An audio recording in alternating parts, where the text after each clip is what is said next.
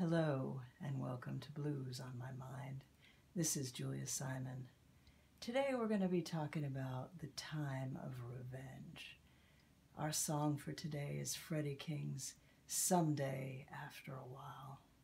And you'll notice in that title, the time is already indefinite. He's talking about someday in the future, after a while, a very indefinite amount of time. So we just don't know when exactly this revenge is going to take place, but I promise you it's about revenge.